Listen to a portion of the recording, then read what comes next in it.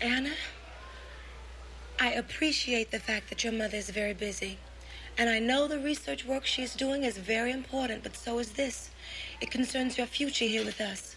What are you talking about? I've topped the dean's list ever since I've been in this school. I know, Anna. And being the most brilliant in a school of gifted children is quite an accomplishment. But, Anna, your entire curriculum focuses on math and science. There's other things, you know. That's what my mother wants. I'm going to be a physicist, not a plumber or a school teacher. Oh, so Anna's the pianist in the family. Yeah, she's been taking lessons since she was a little thing. Her father insisted on it. Yes, but I'm not exactly pleased with her progress.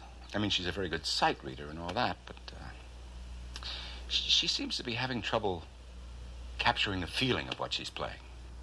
Oh, well, perhaps I could help. I've often taught. I don't need any help. I'm not going to be a musician. I'm going to be a scientist. The two things aren't incompatible, Anna. Anna's a real math brain.